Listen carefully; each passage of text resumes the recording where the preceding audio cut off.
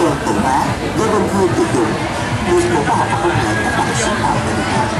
Tiếp tục với những ý tưởng hữu ích cho người sử dụng xe gắn máy. Mới đây cơ sở sản xuất chỉ luôn đưa ra thị trường sản phẩm tay lái vỏ đem lại sự an toàn tuyệt đối cho người sử dụng.